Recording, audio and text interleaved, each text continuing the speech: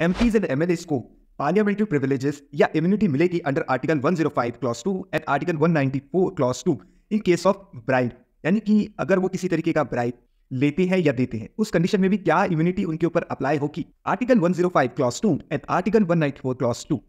क्या कहता है? तो ये एक तरीके की इम्यूनिटी और पार्लियामेंट्री प्रिविलेजेस प्रोवाइड करता है एमपीज एंड एमएलए को। किसी भी तरीके का उनके ऊपर क्रिमिनल एक्शन नहीं होगा प्रोसीडिंग नहीं होगी। अगर वो कुछ भी कहते हैं या करते हैं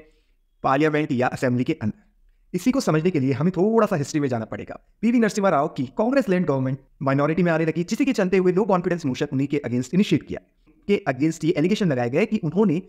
एमपीज को खरीद फरोख्त करने की कार्रवाई की, उनको ब्राइब देने की कोशिश की, जिसके चलते हुए उनके अगेंस्ट कंप्लेंट फ़ाइल अब उसी कंप्लेन को उन्होंने सुप्रीम कोर्ट के अंदर चैलेंज किया। सुप्रीम कोर्ट में पीवी नरसिम्हा राव ने यह कहा कि एज पर आर्टिकल 105 क्लॉज 2 मुझे ये इम्यूनिटी मिली हुई है कि मैं पार्लियामेंट में क्या करता हूँ, किसके अगेंस्ट वोट करता हूँ, उसके चलते हुए मेरे अगेंस्ट कोई भी क्रिमिनल प्रोसीडिंग इनिशिएट नहीं की जा सकती। और इसी के चलते हुए सुप्रीम कोर्ट की फाइव जजेस बेंच ने एक जजमेंट डिलीवर किया, जो कि थ्री इस टू टू की मेजोरिटी के साथ डिलीवर किया गया, जिसमें ये कहा कि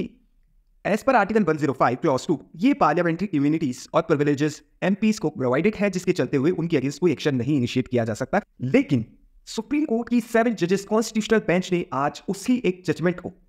ओवर कर दिया गया है और ये जजमेंट डिलीवर किया है। ब्राइम देना और लेना एक ऑफेंस है। तो ये किसी भी तरीके से एक इम्यूनिटी प्रोवाइड नहीं करता किसी भी एमपी और एमएलए को under article 105 clause 2 and 194 clause 2 चाहे कोई भी एमपी हो, चाहे कोई एमएलए हो, वो किसी भी तरीके से पार्लियामेंट्री प्रोसीडिंग के चलते हुए भी किसी को ब्राइब करता है या ब्राइब एक्सेप्ट करता है तो ये एक क्रिमिनल ऑफेंस होगा और इससे उनको इम्यूनिटी नहीं provide follow law Shastra for more legal updates